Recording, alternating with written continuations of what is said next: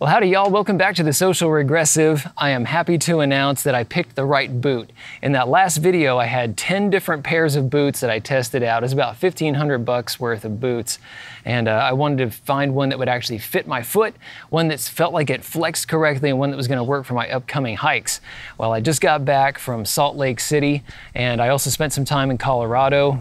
In, in total, in Colorado, I probably did about oh, I don't know, 40 miles of uh, hiking, you know, little day hikes, and then one overnighter out there. And then uh, in Salt Lake City, I probably put down another, oh, I don't know, 15 or so. But then I also wore these at a convention, so I don't know, I, I may have as much as 100 uh, miles into these boots so far, and I can give them a clean bill of health. Uh, the hikes that we did out in Colorado tended to be uh, kind of steep in some areas. For the most part, they were pretty sedate. Uh, they were well-worn trails.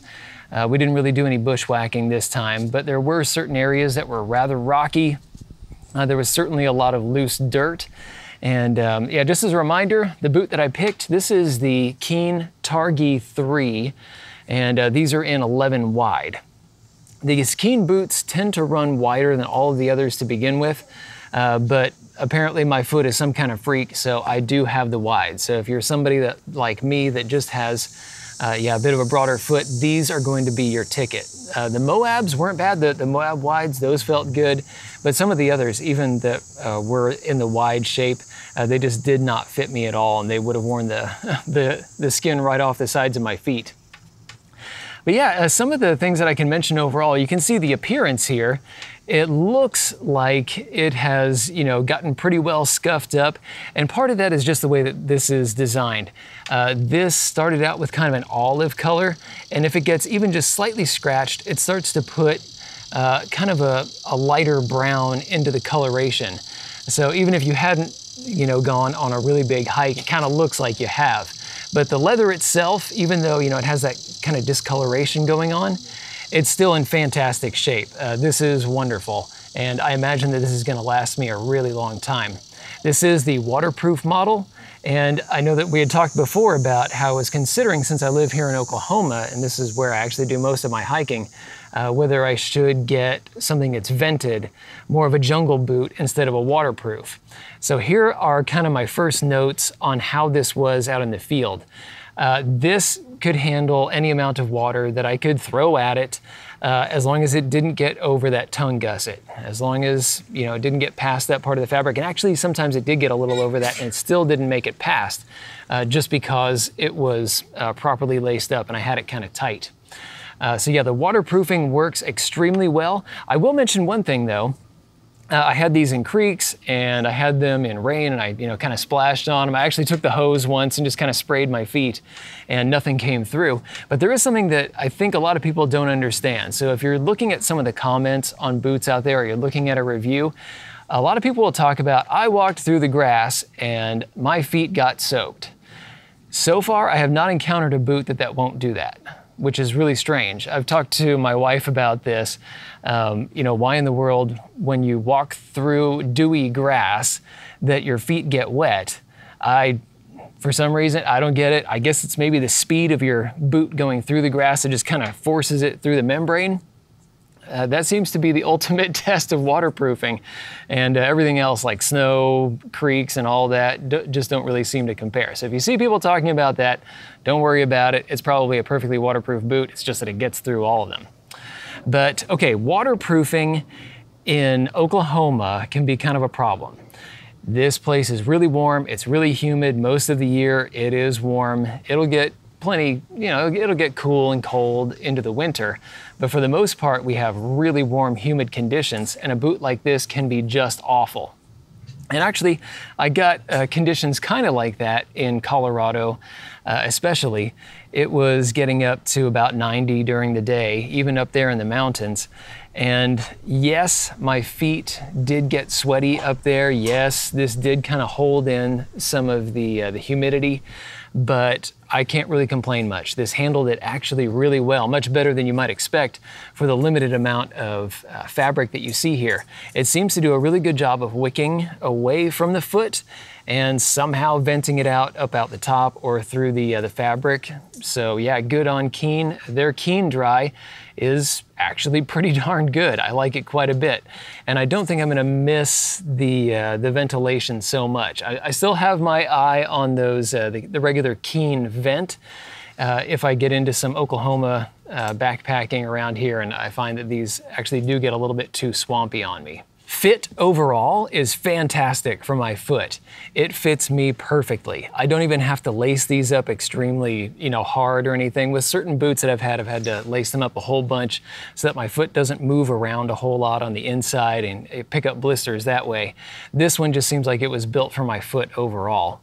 And as far as motion goes, uh, like I mentioned in the previous video, these just always want to move. Yes, they're stable when you're standing and they're stable when you're climbing, but something about the shape of this, uh, this little toe area here, how it's rounded, and how we have this shorter uh, toe box right here, this did not, it just wanted to keep moving all the time. If I was uh, walking, this is one that aids instead of kind of fighting back against you while you're moving.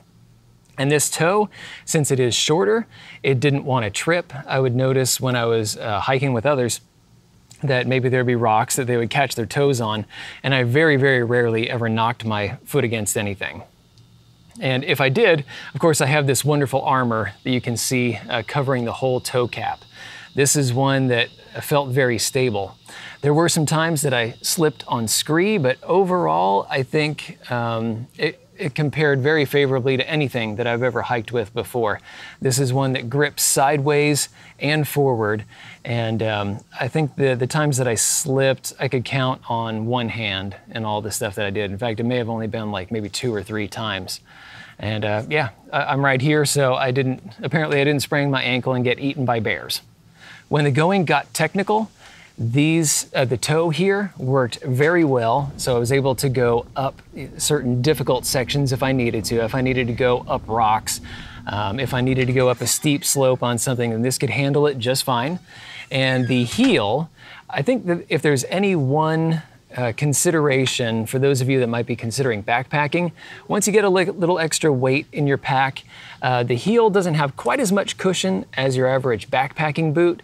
So after a full day of pounding on that, yeah, you can start to feel it through there. I could start to feel just a little bit of bruising, but part of that is uh, the fact that I, I, was so out of shape too. You know, I haven't really done anything in a long time. And um, yeah, still, I think that some of the others would have protected a little bit more. But it does have a very good hit, good heel strike, good roll all the way through. It doesn't feel like you hit and then kind of flop down. It feels like you hit, squish, and then you just roll through the foot. So great uh, kind of uh, kinetic movement going through here. As far as weight goes, I've mentioned that these are not the lightest, but they are certainly light enough for me. One of the greatest things about both of the hikes that I did is I didn't really think about my feet. And I had, that was actually the thing that I thought about as I was going along. It's like, why am I not concerned about my feet? Why am I not getting any blisters? Why am I not bruising up? Um, these just kind of, they're like a second skin and they absorb those impacts and make everything feel really good. So as far as a, a natural boot goes, uh, I really give these top honors. They feel wonderful. Now the companion pieces to all of this uh, would be some of the other things that I was wearing. Um, I know that part of the reason that I just really don't get blisters anymore while I go hiking is the quality of sock that I have.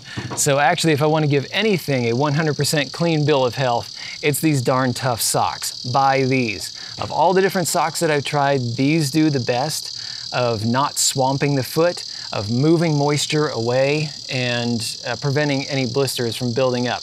I didn't have to do any kind of taping, no moleskin, no nothing. I just wore these and they just kind of took a whole lot of abuse. These have a really thick cushion right here. These are their boot socks, uh, full cushion. And um, yeah, they, they just have quite a bit of cushion in the toe and in the heel. There's a little bit, I think these have a little bit less right in the, uh, through the arch area. And uh, yeah, these are ones that get, a, that kind of fill the boot a little bit more and uh, they can make it just a little bit warmer. For some of the days that were especially warm, I went with these instead. These are the Darn Tough Crew. I think these are the, the quarter cushion Uh, these have a pretty thick cushion on the bottom. I'll actually put links to everything down below so you can pick these out if you want to get the exact socks. Uh, but these have kind of a vented material. It's thinner up at the top and it allows a lot of that moisture and a lot of that heat to come up straight into the boot and be evacuated from there. But yeah, you still get lots of cushion in here. And then splitting the difference, I have this guy. This one has full cushion all the way around, much like this one and um, but it, does, it is a little bit thinner on the top. So again it can kind of vent more up out the top. And of course these are colors that I love right here.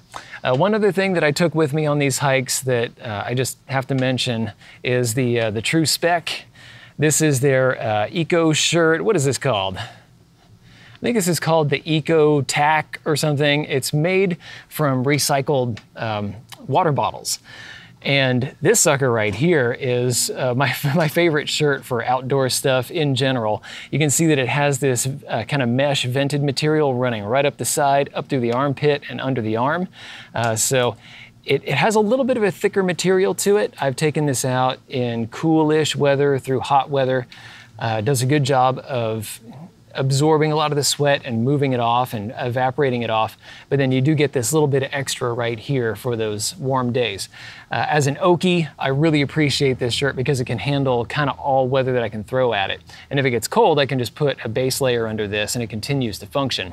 And it also has where are these things? There we go. It has little pockets for Slim Jims, one on each shoulder. That's so kind of them.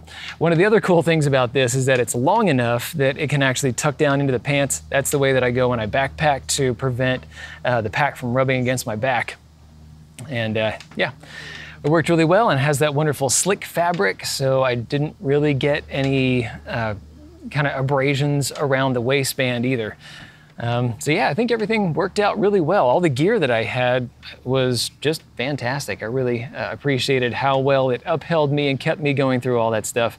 Uh, took up the weight and really I didn't have to think about anything except the trail ahead of me as I was going on. And that to me is the measure of some good gear. Thanks a lot for watching, y'all. Make sure that you uh, like, share, subscribe, and hit that notification bell. We're gonna get back to rifle optics and other goodies here in a bit, but uh, of course you guys know that I love other outdoor activities, so who knows what we might come up with next. See you around. Thanks for watching. If you liked this video, be sure to like, share, and most importantly, subscribe. Even if you didn't like this particular content, go ahead and subscribe. There's probably something coming that's more up your alley. Check out this playlist right here. This is going to have videos in a similar vein to what you just watched. These two videos we cherry picked for you. And finally, The Social Regressive is on Patreon. So, you can become a patron of the destructive arts and earn some goodies while helping us to provide high quality videos just by kicking us a few bucks a month. Thanks a bunch for your patronage.